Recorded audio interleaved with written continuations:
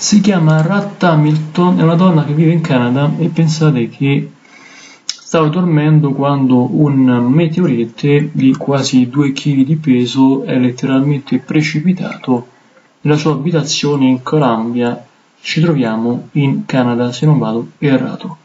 Il masso, che ha le dimensioni di un grosso San Pietrino, si è, diciamo così, andato a cadere proprio nel letto di questa donna e la pensionata è rimasta abbastanza scioccata perché non si aspettava minimamente che questo meteorite andasse a cadere e poi tra l'altro proprio nella sua abitazione.